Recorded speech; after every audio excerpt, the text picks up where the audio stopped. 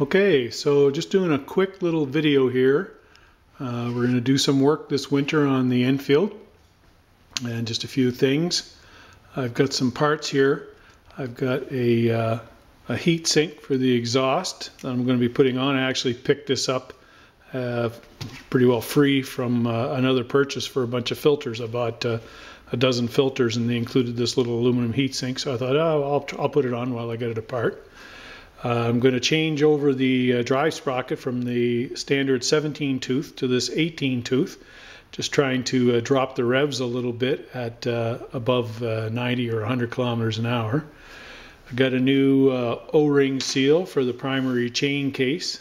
the old one's been on and off several times, so it's time for a new one. I'll keep the old one for as a spare and I got the uh, rubber for the uh, airbox to uh, carburetor inlet.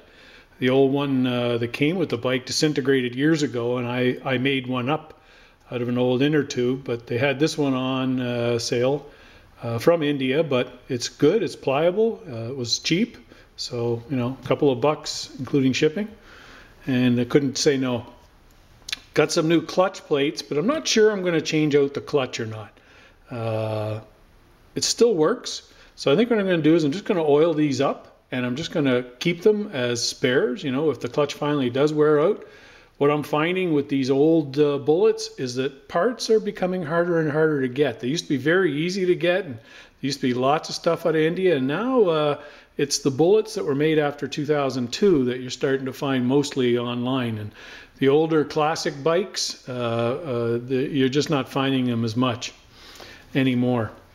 So what I did was uh, just did up a quick list of stuff that I'm going to do and stuff that I found after last winter's work. Uh, the drive sprocket, going to change that out. I noticed that I had a little bit of a shake in the front wheel. So when I did the tire and the tube last year and I changed out the brake shoes and that, I didn't balance the wheel. So I think I got a slight imbalance. I'm going to take the wheel off and check out the balance. While I got it off, I'm going to put a uh, spacer in. I put a temporary one on, but I'm going to make up a nicer one and put it in. And it's the spacer for the uh, uh, the brake, uh, where the brakes go on between the brake and the left-hand uh, fork. Uh, there's a spacer that allows that nut to back out on mine. And then, of course, your plate kind of wobbles around, and that's not good. It doesn't stay centered, and so I'm going to do that up. The O-ring I've already covered.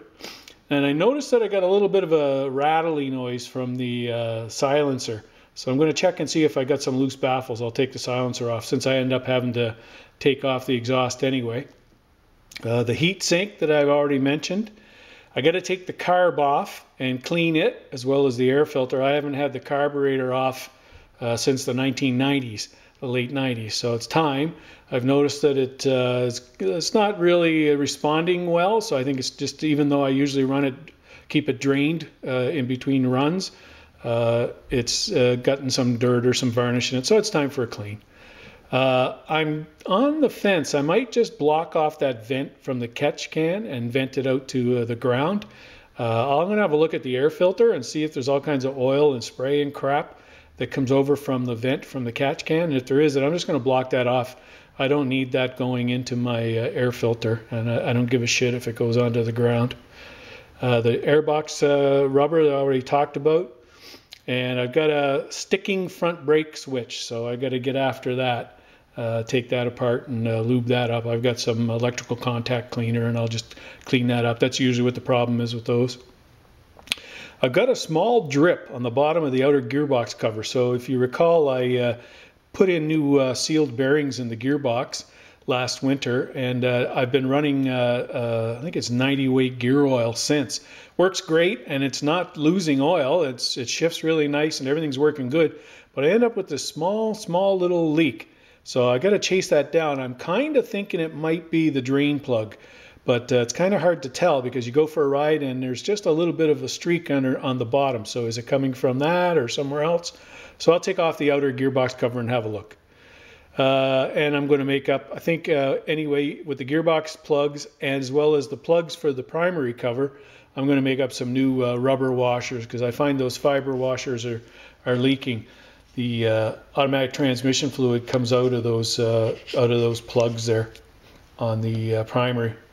And then I'm just going to check the gap on the points. Uh, I, I, put a new plug in uh, about two, two months ago, but I forgot to gap the points, so I'm just going to give them a quick gap. So uh, the big job that I got here this year is uh, I'm going to be taking off the uh, cylinder. Take, uh, take off the head, take off the cylinder. I want to clean up the rust that's on the outside of the cylinder. I want to repaint it and I want to clean up the head and just check the uh, seats. And you know, if I have to lap them in, I'll lap in the valves again.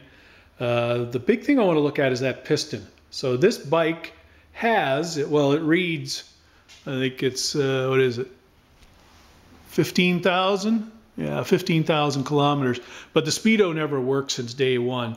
So uh, it's always read high. So it's probably a little closer to 12 or 13,000 kilometers. I've heard lots about uh, the pistons having a problem with them separating, the skirts separating at the bottom. The, uh, and this is the original uh, installed in the factory piston. So what I think I'm going to do is take it out. I'm going to measure and just make sure that it uh, doesn't need to go up a size. And then I'm going to order a new forged piston from uh, Hitchcock's in England. Years ago, I put on one of these bike speedometers, and this is what I use for a speedometer. This is dead accurate because you just measure the uh, circumference of your uh, front tire and you put in the the reading into that uh, bicycle uh, speedometer and and you get an exact reading of your speed so it's dead accurate. And you can see down here I just have the the sensor. I just put a bracket into where the uh, uh, mudguard stay goes at an angle and then the sensor I just wired it onto the speedometer cable. And here's the uh, here's the little magnet the little works by Hall effect. Eh? it just goes by that and every time it goes by that it, it reads reads it. But anyway yeah so that's what I'm going to be doing this year and I just thought I'd do this little video just as a bit of an introduction and then uh, the next one will be uh, me getting into uh, tearing this apart and having a look and seeing what kind of shape the inside of the engine's in. All right then